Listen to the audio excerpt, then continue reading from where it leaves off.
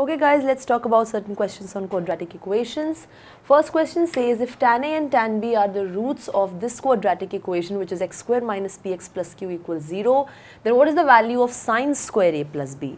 Now see the quadratic equation given is x square minus px plus q equals 0. Alpha is a root, beta is a root. Alpha is nothing but tan A, beta is nothing but tan B.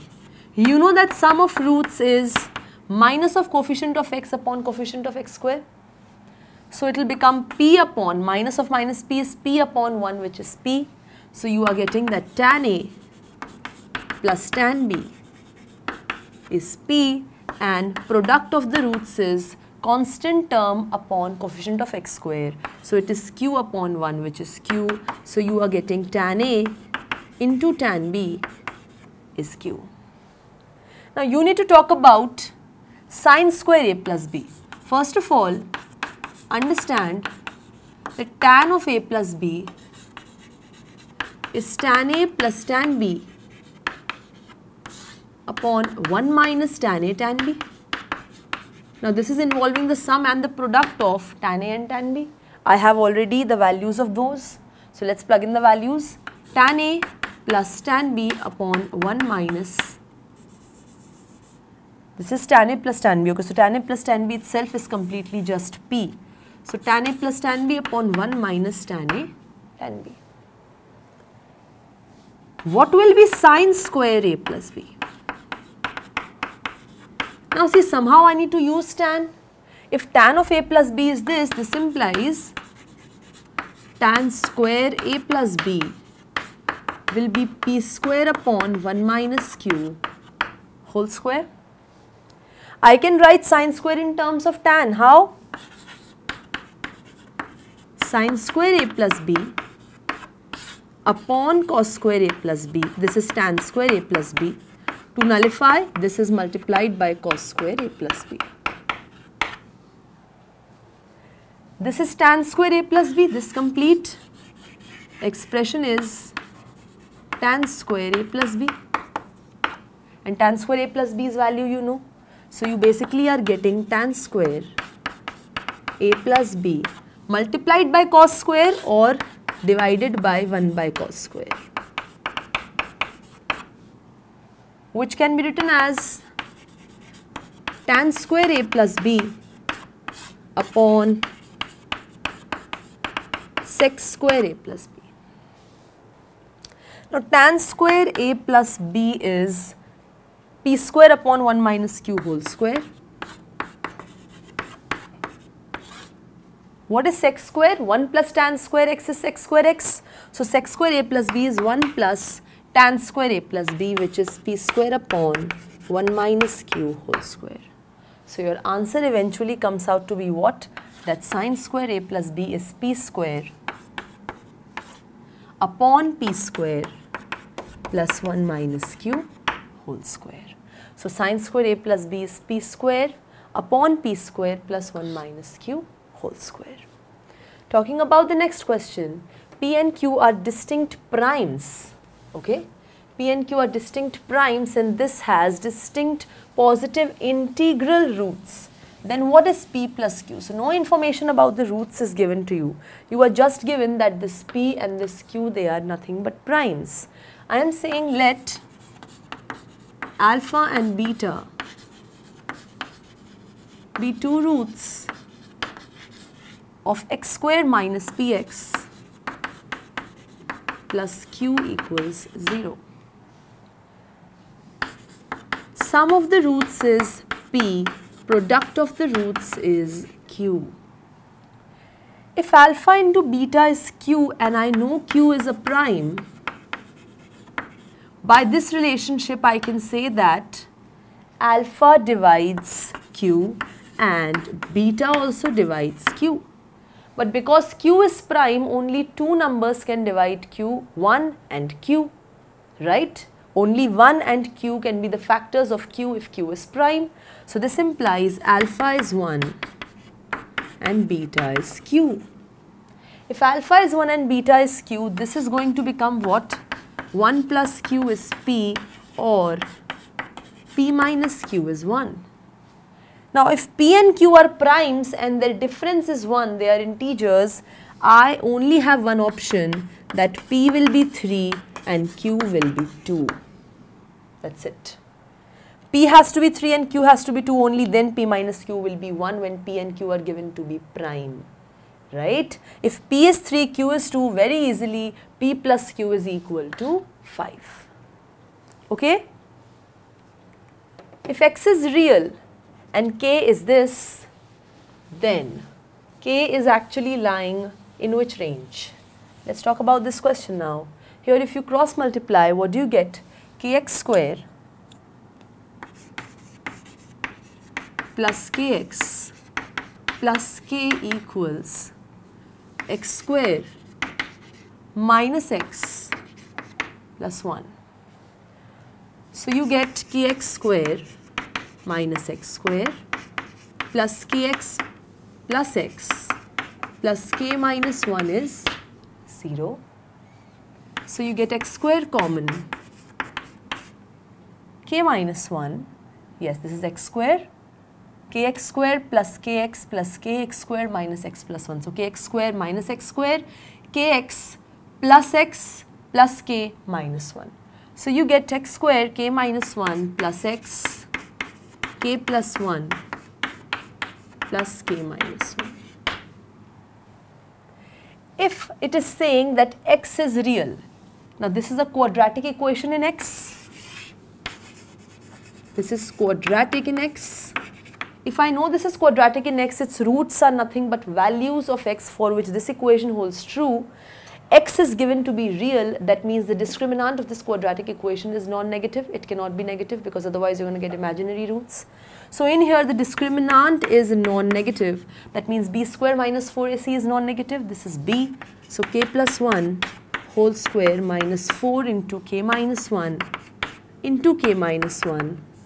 This is greater than equal to 0. This becomes k square plus 1 plus 2k minus 4k square. This is plus 1, so minus 4, minus 2k, so plus 8k. So you get k square minus 4k square which is k square minus 4k square gives you minus 3k square. Then you have plus 2k plus 8k that is plus 10k. And then you have plus 1 minus 4 which is minus 3. Okay. This I can write as what? 3k square minus 10k plus 3 is less than equal to 0. I can write it like this because minus sign I took out common and then I got rid of that minus sign. So therefore the inequality basically changed. This can be written as 3k square.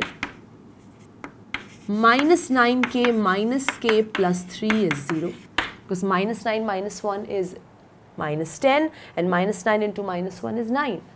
So 3k comes out common you're left with k minus 3 minus 1 k minus 3 this is less than equal to 0.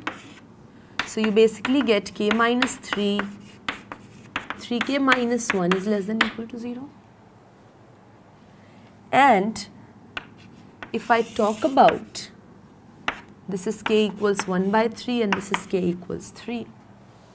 What do you get in here is when you take values less than 1 by 3, this is negative, this is negative, so the product comes out to be positive. Here, this is positive, this is negative, so the product is negative. Here, both are positive, so the product is positive. I want those values of k for which it is less than 0 or equal to 0. So at 1 by 3 and at 3 it will be equal to 0 and in this particular range it will be less than 0. So k should belong to 1 by 3 to 3. k should belong to 1 by 3 to 3 closed interval. k should be greater than equal to 1 by 3 and less than equal to 3. Moving to the next question we have the concept of harmonic mean popping up in this quadratic equation. So you know how mingled up situations can be in the questions. Harmonic mean of the roots of this quadratic equation is 4. Now if I am saying alpha and beta be the roots of the quadratic equation given by 1. In that situation, harmonic mean of alpha and beta is given to be 4. If you don't know the formula for harmonic mean, you will not be able to proceed after this step. So you actually are given that twice of alpha beta upon alpha plus beta is 4. This is where the harmonic mean concept has come up into picture. That twice of alpha beta upon alpha plus beta is 4.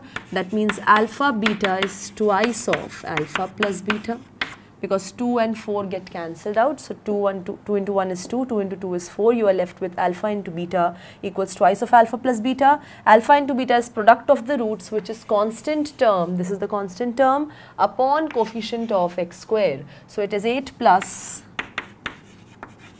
2 root 5 upon 5 plus root 2.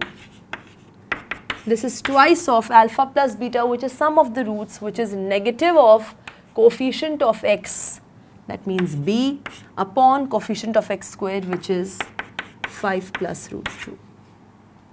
So very easily this has got cancelled. b is coming out to be what? What is the value of b that you're getting? b is coming out to be 8 plus 2 root 5 upon 2. Very simple, 2 comes out common, 4 plus root 5 upon 2, b is nothing but 4 plus root 5. So, answer is option number D. Clear? Moving to the next one, we have the number of integral roots of this equation is what? Let's see. See, working out with x to the power 4 is a tedious task. So, we basically focus on one thing that whenever there are variables, they are actually coming in the exact same fashion. Here also x to the power 4, here also x to the power 4. So, what I do is I just take x to the power 4 to be equal to y for simplification. And then I am left with y plus root over y plus 20 is 22. Fine. Now things are pretty simple. I'm just going to let this be here and send this y that side and the purpose should be very very very crystal clear that I need to square both sides so that I can get rid of the square root sign. So when I square both sides what do I get? I get y plus 20 equals 22 minus y whole square which gives you y plus 20 equals 22 square plus y square minus 2 into 22 y. So now you are left with y square minus 44y minus y which is minus 45y plus 484 minus 20 which is 464 equals 0. This is nothing but quadratic equation in y. Very, very easily, trust me, you can apply the quadratic formula which is x equals, here it will be y because it is quadratic in y, minus b plus minus root over b square minus 4ac upon twice of a. That is going to give you y as 16 and 29. But y remember is nothing but x to the power 4. It is coming out to be 16 and 29. Is there any x for which x to the power 4 is 29? No. Therefore, y cannot be 29. All y can be is 16 which means x to the power 4 is 16 which means x is plus or minus 2 because plus 2 to the power 4 is 16 minus 2 to the power 4 is 16. So x can assume two values plus and minus 2 among which one is given in the options and therefore that is correct. So go through all the questions very nicely. That's it from my side. Thank you.